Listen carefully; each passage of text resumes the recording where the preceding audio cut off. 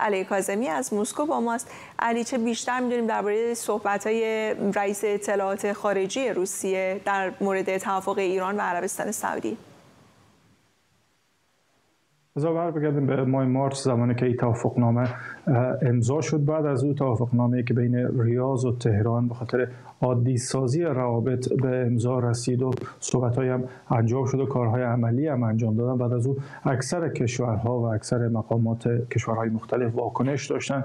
روسیه هم که یکی از متحدین استراتژیک ایران هست از همو ابتدا مقاماتش در بخشهای مختلف واکنش داشتن استقبال کردن حتی در سفری که آقای عبداللهیان وزیر خارجه جمهوری اسلامی به مسکو داشت با وزرای خارجه سوریه و ترکیه در مهمان سرگی لاوروف بودن هم آقای لاوروف در هو نشست خودش استقبال کرد از این روابطی که قرار است بین ریاض و تهران باشه و حال مقامات نظامی و امنیتی روسیه هم واکنش داشتن سرگی نارشکین که رئیس اطلاعات خارجی روسیه هم هست واکنش داشته و یادآور شده که روابط تهران و مسکو نه تنها برای منطقه بلکه برای کل خاور میانه می‌تونه تاثیرگذار باشه. خاور میانه ای که در ای اواخر شاهد تنش های بسیار زیادی در نقاط مختلف خودش بوده و آقای نارشکین این توافق گفته که می‌تونه که